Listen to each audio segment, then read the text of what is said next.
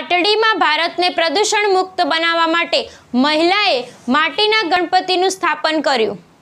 દેશમાં વધતા જતા ગ્લોબલ વોર્મિંગના લીધે હવામાન તથા ઋતુને દરેક સિઝનમાં ફેરફાર જોવા મળે છે. ત્યારે ખાસ ગ્લોબલ વોર્મિંગ પ્રદૂષણ લીધે થાય છે.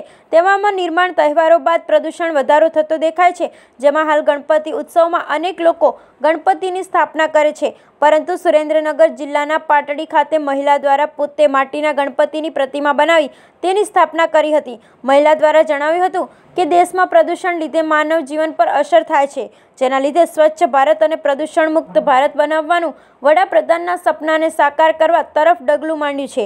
ત્યારે ગણેશ ઉત્સવનો કાર્યક્રમ કરતા તમામ લોકો પણ પ્રદૂષણ મુક્ત ભારત બનાવવા તરફ કાર્ય કરે તેવી વિનંતી પણ કરી હતી. Bureau report, Nawaz Khan, Pathan. છેલ્લા પાંચ વર્ષથી હું અહીંયા પાટડીમાં રહું છું. પાટડીમાં રહું છું. છેલ્લા પાંચ વર્ષથી હું ગણપતિની મૂર્તિ બનાવું છું. તે તળાવમાંથી માટી લાવીને જાતે જ બનાવું છું. કોઈ જાતનું કેમિકલ નથી એમાં. અને કે જાતે જ બધું પેઇન્ટિંગ બધું જાતે જ કરું છું એમાં. આ માટીની મૂર્તિ બનાવવાનું મુખ્ય કારણ શું તમારું?